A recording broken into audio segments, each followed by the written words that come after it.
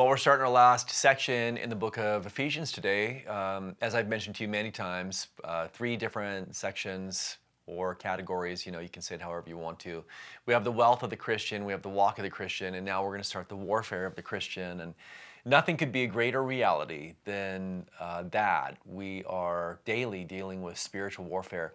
And, you know, in a really unique way, as he wraps up this particular chapter, um, Paul describes it. He, des- he describes in great detail not only the warfare that we deal with, but then also the solution. Thank God for that, that Paul doesn't just talk about how bad it all is, but uh, that the Apostle Paul really does give us. He gives us um, an understanding of how we have been equipped, how we have been equipped to be able to be victorious um, in the spiritual struggle that we all are going through. So I think this was really important for the church at Ephesus.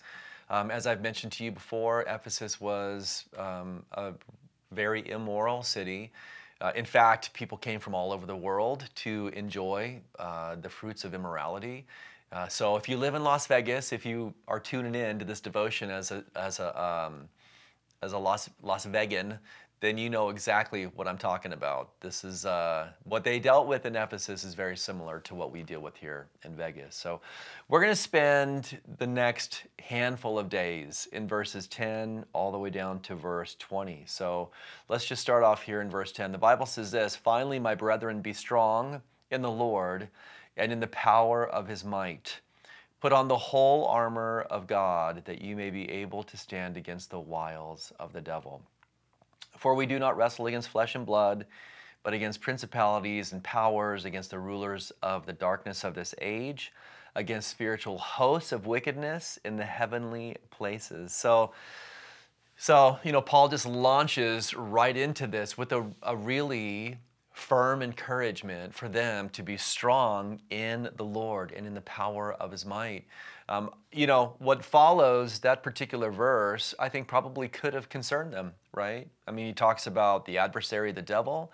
He talks about how we don't wrestle against flesh and blood, but in fact, um, against principalities and powers and rulers of the darkness of this age and spiritual, spiritual hosts of wickedness in heavenly places. Like if you're reading that, you think, oh my gosh, you know, I mean, who am I?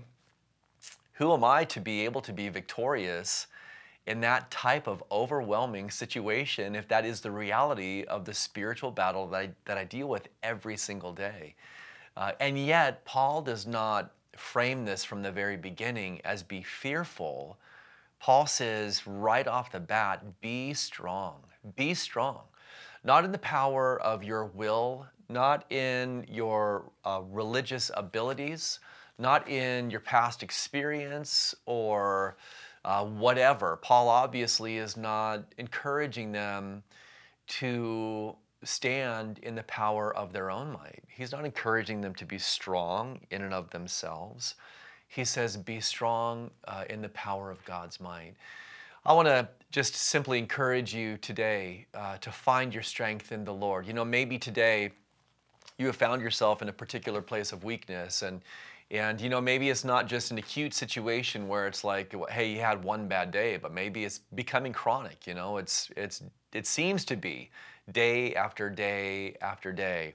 And you know i do think sometimes we can find ourselves in a situation in life where we just you know we just kind of revert back to the way we used to live before we gave our lives to jesus. You know we begin to operate you know in our own strength trusting in ourselves, our, our own abilities, relying on our own willpower uh, to help us out of the difficulties of life. And you know what God does? He's so good. This, this, this might not sound like the goodness of the Lord to you, but it really is. This is what God will do. God will put us through difficult circumstances to bring us back to a place where we're depending upon Him again. You know, there's this saying that goes around in Christian circles and even from pulpits, um, and it's, it's, it's not biblically accurate. And the saying goes like this God won't give you more than you can handle. Have you heard that before? Uh, you've probably heard pastors preach it, and you know you can get some great preaching out of this. You know, um, it's not true preaching, but uh, it can be uh, emotionally stirring. You know, God won't give you more than you can handle. And nothing could be further from the truth. You know, God, if that was the case, if God never gave you more than you could handle, then you would just rely on yourselves, yourself. You would trust in your own strength. You know, you would be relying on your own abilities. No, God continually gives us more than we can handle so that we turn our hearts to Him and trust in Him. Um, there is no verse in the Bible that, that says that God won't give you more than you can handle.